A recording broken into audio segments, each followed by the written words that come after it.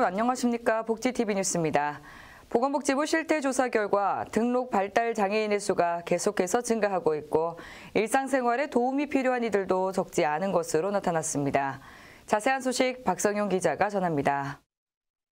등록 발달 장애인의 숫자가 지속적인 증가 추세를 나타내고 있는 것으로 전했습니다. 또한 일상생활에 도움이 필요한 경우가 22.5%로 집계돼 지원책 마련이 필요한 것으로 나타났습니다. 지난 6일 보건복지부는 2021년 발달장애인 실태조사를 통해 발달장애인의 일상생활, 건강상태, 경제활동, 사회참여 등에 대한 분석 결과를 발표했습니다. 이번 조사는 발달장애인 권리보장 및 지원에 관한 법률에 근거해 처음으로 실시됐습니다. 지난해 11월부터 두 달간 등록 발달장애인 1,300명에 대한 방문 면접조사 방식으로 진행됐습니다. 조사 결과 지난해 6월 기준 등록 발달 장애인은 약 25만 2천 명으로 집계됐습니다. 이는 2018년 23만 4천 명 대비 약 1만 8천 명 증가한 수치입니다. 특히 모든 일상생활에 도움이 필요한 발달 장애인은 22.5%로 나타났습니다. 의사소통이 거의 불가능한 발달 장애인은 18.4%로 확인됐으며 당사자에게는 자신의 신체를 해치거나 물건을 파괴하는 행동 등의 도전적 행동이 발생한 것으로 수사됐습니다. 이와 함께 발달장애인 가족 32.6%는 코로나19로 돌봄 시간이 늘어났다고 응답했습니다. 자폐성 장애인의 경우 코로나19로 가족원의 돌봄 시간이 늘었다는 응답이 51.9%로 절반 이상을 차지했습니다. 정부는 실태조사 결과를 반영해 발달장애인 평생돌봄 강화책을 마련하겠다는 계획을 밝혔습니다. 이에 따라 내년도 정부 예산을 확충해 주간활동 서비스 제공 시간을 늘리고 긴급돌봄 시범사업 등을 추진할 예정입니다. 아울러 관련법 개정 등을 통해 발달장애인을 위한 두텁고 촘촘한 지원을 대폭 보강해 나갈 방침입니다. 복지TV 뉴스 박순용입니다. 중증장애인 사업주에 대해 지원을 강화하는 개정안이 발의됐습니다. 중증장애인 사업주에 대해 직업생활 지원을 확대하는 법안이 추진됩니다. 지난 6일 국민의힘 김예지 의원은 해당 내용을 담은 장애인 고용법과 장애인 기업법 일부 개정 법률안을 대표 발의했습니다.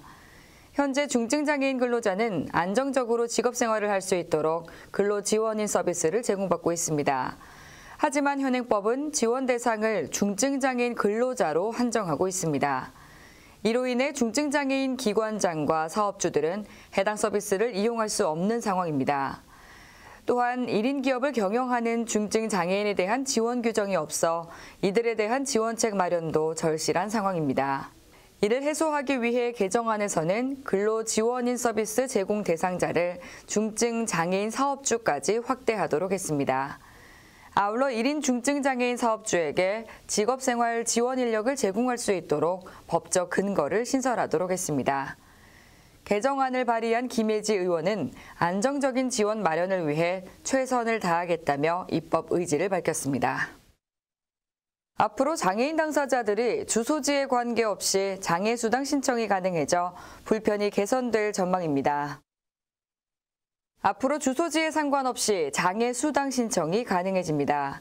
지난 6일 보건복지부는 장애인 복지법 시행규칙 일부 개정령안을 공포하고 즉시 시행에 들어간다고 밝혔습니다. 이번 개정안은 기존 장애수당 신청 절차를 개선하는 등 제도 운영상 미비점을 개선하기 위해 마련됐습니다. 이에 따라 장애인들의 신청 편의를 높이기 위해 주소지에 관계없이 모든 읍면 동장에게 장애수당과 장애아동수당을 신청할 수 있도록 신청 절차를 개선했습니다. 이와 함께 장애인 복지시설 인력 기준도 확대됐습니다.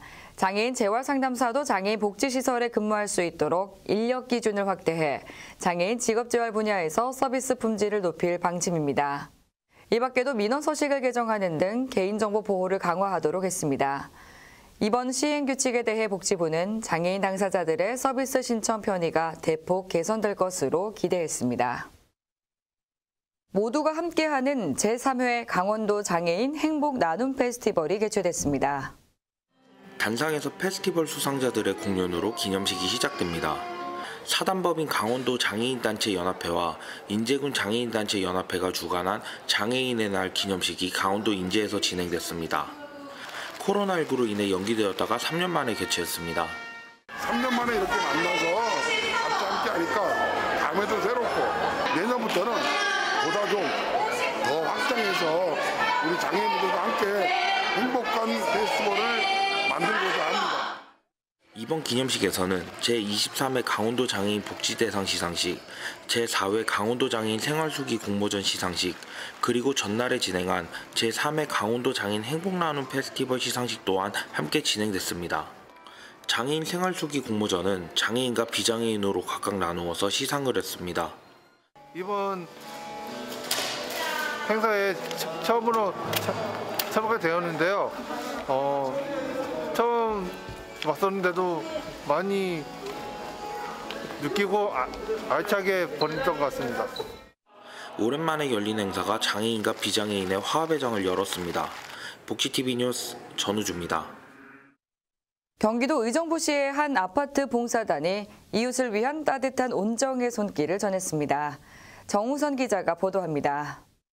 지난 6일 의정부시 제1호 아파트 봉사단인 신곡동 삼성 레미안 아파트 봉사단은 신곡 노인복지관을 찾았습니다. 봉사단은 한가위에 홀로 보내야 하는 이웃을 위해 송편을 준비했습니다. 어른들을 방문하고 전달하는 일은 복지관에서 담당합니다. 아파트가 주류를 이루고 있는 현대의 마을. 내가 사는 아파트를 넘어 어려운 이웃을 찾아 나서는 봉사단의 작은 나눔이 아파트라는 마을의 인식을 바꿔가고 있습니다. 복지TV 경기방송 정우선입니다.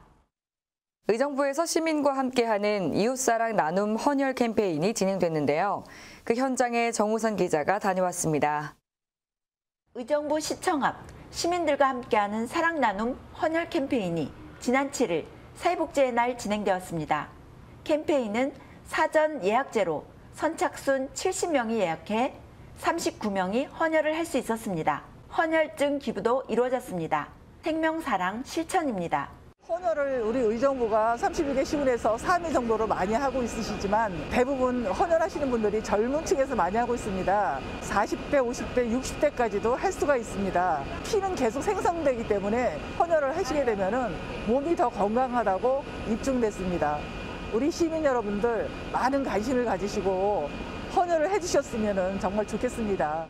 의정부시 사회복지협의회, 명지회, 국민건강보험공단 의정부 지사가 정기적으로 주최하는 이 캠페인은 의정부 시민의 생명사랑 나눔의 가치를 높여가고 있습니다. 복지TV 경기방송 정우선입니다. 경기도 양주시에서 사회복지의 날을 맞아 기념 행사가 열렸습니다. 보도에 정우선 기자입니다.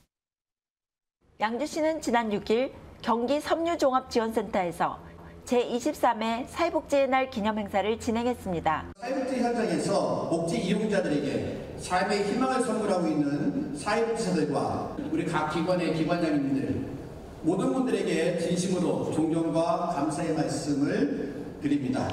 지역사회에서 살아있는 모든 구성원분들이 행복할 수 있는 권리를 누릴 수 있도록 이 자리에 계신 모든 분들이 함께 협력하였으면 좋겠습니다. 삼삼오오 둘러앉아 음악 감상과 함께 담소를 나누는 모습이 반갑습니다. 사회복지인들의 오랜만의 모임입니다. 어려움 속에서도 지역의 돌봄 공- 공백을 메꾸고 사회복지 정책이 차질 없이 추진될 수 있었던 것이 현장에 계신 여러분의 헌신과 열정의 덕분이라 생각하며 오늘 사회복지의 날을 맞아요 우리 양주시의 사회복지가 한층 더 도약하는 계기가 되기를 기원합니다. 장애인, 청소년, 노인복지기관에서 준비한 식전 행사는 참여한 복지인들에게 즐거움을 선물했습니다. 모든 국민은 다 존엄하고 가치 있고 행복을 추구할 권리가 있다고 이야기 헌법이 선언하고 있지만 과연 우리 국가가 정치권이 한 그때 한 그런 역할을 하고 있는지 이 국가의 책임이 크고 우리의 제- 정치의 책임이 큽니다. 우리 중앙정부나 지방정부나 정치권이나 그런 문제를 동시에 노력해야 된다고 생각하고 있습니다. 아, 저도 국회에서 아, 저에게 맡겨진 그런 일들 저희 분야에서 최선을 다하겠습니다. 사회복지 유공자 표창으로 복지인들의 수고를 치하했습니다. 양주시 전 복지인들을 대표해 31명의 사회복지인이 수상의 영광을 안았습니다. 따뜻한 동행, 모두가 행복한 사회를 만들어가는 사회복지인으로서 복지 사각지대 없는 사회를 생각하고 다짐하는 의미 있는 시간이었습니다. 복지TV 경기방송 정선입니다. 전북 익산에서 제23회 사회복지의 날을 맞아 익산시 사회복지대회가 개최됐습니다. 현장 소식 장유진 기자가 전합니다. 전북 익산시 사회복지협의회가 제23회 사회복지의 날을 맞아 7일 오후 원광대학교 학생회관에서 익산시 사회복지대회를 개최했습니다.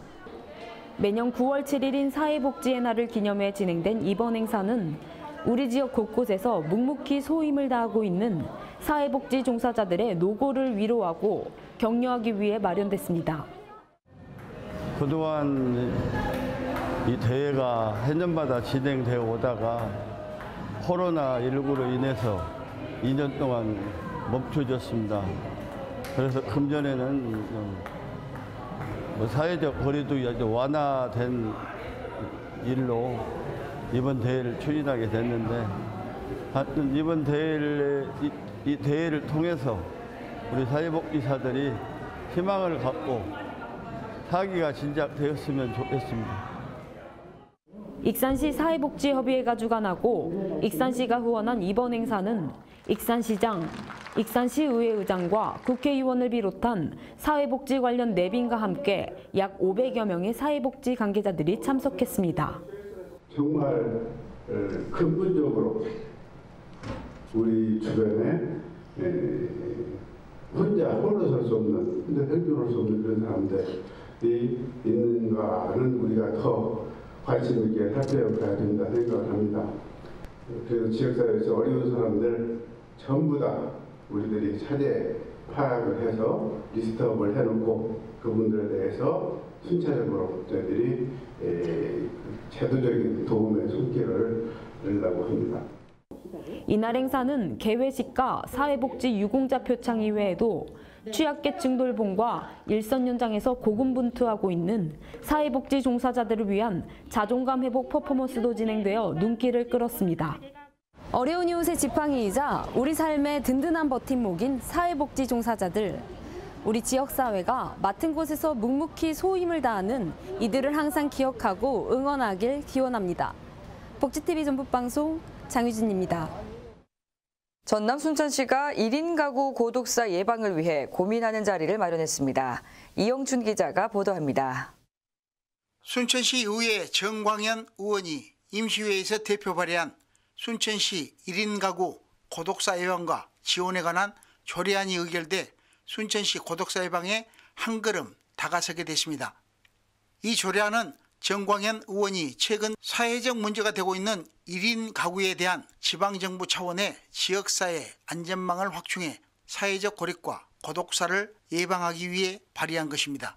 제가 이번에 조례안을 발의하게 된 계기는 어르신 한 분이 쓰러져 계시는 것을 제가 발견을 하고 자칫 골든타임을 놓쳐서 더 큰 사고로 이어질 수가 있었는데 그거를 보면서 최근 사회적으로 문제가 되고 있는 사회적 고립, 즉 1인 가구 고독사에 대한 것을 예방하고 지원을 할 수 있는 조례안을 찾아보다가 최근 많은 지자체에서 고독사 예방을 위한 조례가 마련이 되어 있고 전남에도 많은 시군에서 조례안이 발의되어 있음에도 불구하고 순천에는 이 조례안이 없어서 대표 발의하게 되었습니다.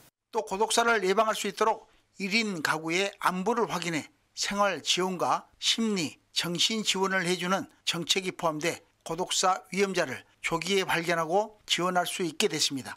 순천시 의회는 고독사 사전 예방과 민관 협력을 통한 안전망 구축에 나서 사회적 문제인 고독사를 순천시와 함께 해결해 나갈 계획입니다. 복지TV 뉴스 이영수입니다. 싱그럽고 아름다운 해바라기의 꿈을 화폭에 가득 담은 박은주 작가의 개인전이 전남 광양을 찾아왔습니다. 이소영 기자가 만나봤습니다. 꽃이 늘 태양을 바라보고 있다고 해서 이름 붙여진 해바라기. 가을을 알리는 샛노란 해바라기가 화폭 속에 활짝 피었습니다. 수채화로 왕성한 활동을 하고 있는 박은주 작가의 꿈전이 전남 광양에 위치한 섬진강 작은 미술관에서 열렸습니다. 하늘을 향해 바로 섰는가 하면 이미 열매를 맺어 머리를 숙인 화폭 속 꽃들은 작가의 섬세한 붓질과 따뜻한 색감으로 차고 넘쳐 어느 하나 싱그럽고 아름답지 않은 해바라기가 없습니다. 수채화 위주로 작업을 하고 있고요. 어, 그림의 내용은 꽃과 그다음에 아름다운 풍경 위주로 그리고 있습니다. 꽃을 보면서 되게 많이 위로를 받았거든요. 마음이 화사해진다고 할까요? 네, 그래서 해바라기를 많이 그리게 된 것 같습니다. 제 어렸을 때 꿈이 음, 그림을 그린 거였는데 그림을 그리면서 느꼈던 이 행복감을 같이 어, 함께 했으면 좋겠다라는 생각이 점점 많이 들어서 어, 배우고자 하는 분들 또 저도 같이 배우고 그런 일을 한번 해보고 싶다는 생각을 하게 됐습니다. 작가의 꽃을 그린 그림은 밝고 화사한 색감이 돋보여 사람들의 시선을 끌어모으고 있습니다. 광양 끝들 마을에 위치한 섬진강 작은 미술관은 지역 주민의 문화예술 향유 기회를 제공하고 있으며 앞으로도 다양하고 특별한 전시와 프로그램들이 운영돼 기대를 모으고 있습니다. 따뜻한 감성과 신비로운 꽃향기를 머금은 작가의 작품들은 멋과 아름다움이 더해져 관람객들을 다가서게 하고 있습니다. 복지TV 뉴스 이소영입니다. 이어서 간추린 뉴스 전해드립니다. 경기 고양시는 복지 사각지대에 놓인 취약계층의 응급사태나 고독사 등에 신속하게 대응하기 위해 스마트 미터링 시스템을 활용합니다. 이 시스템은 아날로그 방식으로 운영해온 수도 계량기에 정보통신 기술을 접목해 수돗물 사용량을 파악하는 장치로 다양한 물 소비량 정보를 원격 검침을 통해 일시간 단위로 분석할 수 있습니다. 시는 이 정보를 통해 누수를 비롯한 수도 사고는 물론 독거노인이나 중증 장애인 등의 위험 상황에도 신속하게 대처할 수 있을 것으로 기대하고 있습니다. 서울 서초구는 누적된 돌봄 스트레스와 우울 등 심리적 문제로 어려움을 겪는 장애인 가족의 전문 심리 상담 치료 서비스를 지원한다고 밝혔습니다. 선정된 장애인 가족에게는 최대 10회에 걸쳐 전문 상담 기관을 통한 가족 또는 개별 상담과 치료를 지원합니다. 필요에 따라 미술 치료가 연계될 수 있고 모든 상담과 치료는 무료입니다. 우선 지난달 신청자 중 선정된 19가구가 이달부터 상담을 시작합니다. 이 밖에 자세한 사항은 웰페어 뉴스 홈페이지와 장애인 신문, 복지TV 뉴스를 통해 확인할 수 있습니다. 앞서 발달장애인 실태조사 결과 전해드렸는데요. 발달장애인이 갖는 미래에 대한 걱정 중 혼자 남겨진다는 두려움에 대한 답변이 33.4%로 가장 많았습니다. 3명 중 1명꼴인데요. 발달장애인 가족에서도 34.9%가 보호자 사후에 대한 막막함을 걱정하고 있었습니다.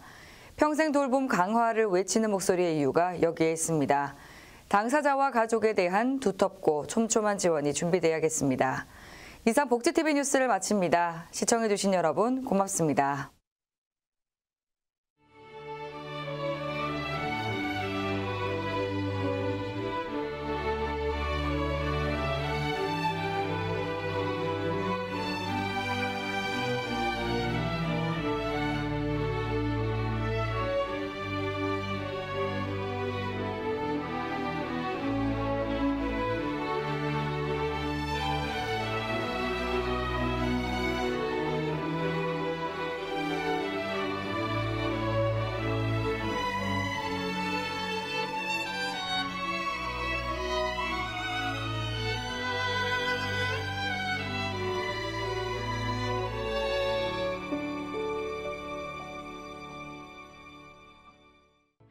우리 주변에서 일어나는 불공정한 사례부터 억울한 사연, 따뜻한 미담까지 장애인 신문과 웰페어 뉴스 홈페이지를 통해 보다 다양한 소식을 접할 수 있습니다. 시청자 여러분의 제보를 기다립니다. 웰페어 뉴스 홈페이지 또는 전자우편, 전화번호 02-2655-9519로 많은 제보 바랍니다.